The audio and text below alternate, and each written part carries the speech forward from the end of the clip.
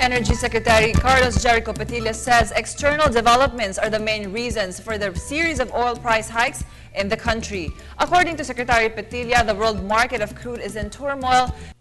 A lot of things are happening. He said the problem started from the civil war in Syria, but oil prices posted a drastic rise after the news about the political situation in Egypt came out. He stressed that the Philippines is not the only one bearing this.